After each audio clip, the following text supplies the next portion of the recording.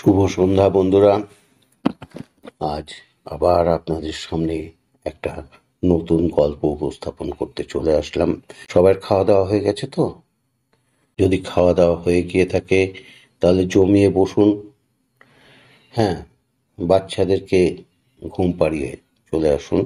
বাচ্চাদেরকে সঙ্গে রাখবেন না। সবাই চলে এসেছেন? আসুন, শুরু করি। মধ্যরাতের যাত্রী। গুনগুন করে গান গাইতে গাইতে পথ চলতে লাগল অরিত্রী।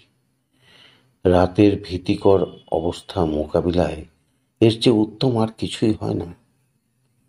তাতেও মনের ভয় কাটেনি সম্পূর্ণ অরিত্রীর। একে তো রাতের ঘন অন্ধকার, তার উপর জনমানবহীন নির্জন নিস্তব্ধ পরিবেশ।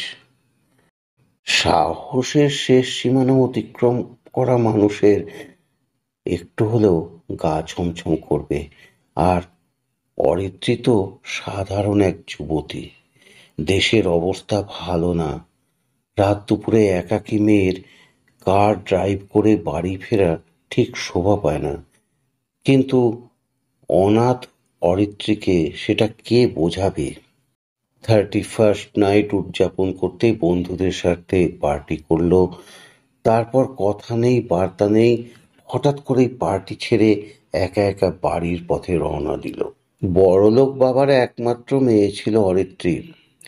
বাবার মৃত্যুর পর এখন বসে বসে টাকা ওড়ানো ছাড়া আর কোনো কাজ নেই তার। যা চায় সবই সে করতে পারে, একেবারে বিনোদনপূর্ণ জীবন যাকে বলে। হঠাৎ অরিত্রী দেখল একটা হাত, আঙুল উঁচু করে শূন্যে ভাসতে লাগল। অর্থাৎ কেউ লিফট চাইছে। গাড়ির হেডলাইটের আলোয় অরিত্রী স্পষ্ট দেখতে পেল, তারই সমবয়সী এক মেয়ে সাহায্য চাইছে।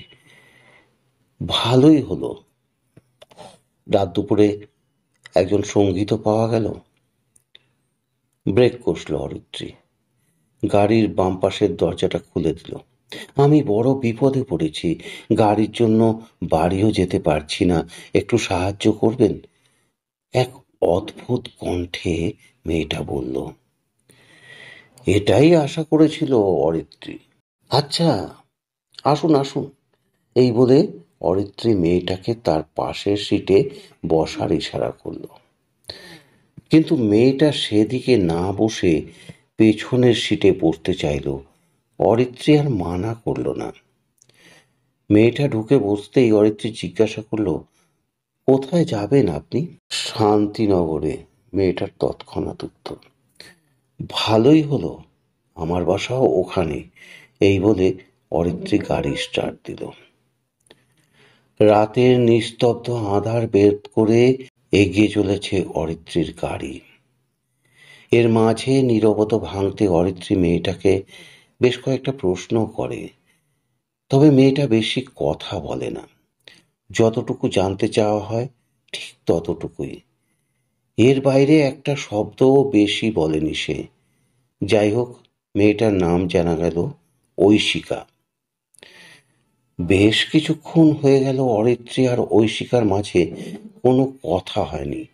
অরিত্রী বলার মতো কিছু খুঁজে পাচ্ছিল না, তাই ও নিজের মতোই ড্রাইভ করছে। পেছনে ঐশিকা কি করছে সেটা আর খেয়াল করেনি। গাড়ির ফ্রন্ট গ্লাসটাও নেই যে পেছনে দেখবে ঐশিকা কি করছে। পেছনে একজন থাকা সত্ত্বেও নীরব গা ছমছমে পরিবেশে বাক্যহীন যাত্রা মোটেই পছন্দ হচ্ছে না অরিত্রীর। কথা বলার জন্য পেছনে ঘুরতেই চমকে উঠল সে। গাড়ির পেছনে যে বসে আছে সে ঐশিকা নয়। বিভৎস মুখের বেশধারী এক যুবতী। ক্ষত বিক্ষত রক্তাক্ত মুখ নিয়ে হাসছে সে। বরফের মতো জমে গেল অরিত্রীর শরীর। কাটা হাত এগিয়ে আসছে তার দিকে। রাতের তীব্র আধারে এগিয়ে চলেছে এক গাড়ি।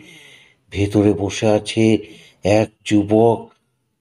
আর তার পাশে কার ড্রাইভ করছে এক যুবতী?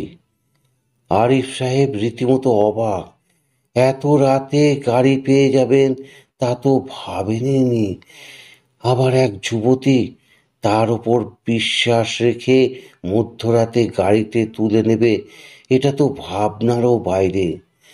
বেশ কিছুক্ষণ হলো আরিফ সাহেব গাড়িতে উঠেছে, কিন্তু গাড়িতে ওঠার সময় যা হয়েছিল তারপরে তাদের মাঝে আর একটা কথাও হয়নি। আপনার নামটা কি যেন বললেন? শুরুটা করলেন আরিফ সাহেব। অরিত্রী, যুবতীর উত্তর। খুব সুন্দর, আরিফ সাহেব বললেন।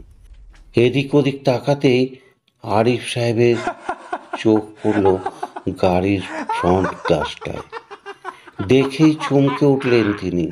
আয়নায় অরিত্রের কোনো প্রতিবিম্ব নেই, অথচ ওটা ওর দিকেই তাক করা।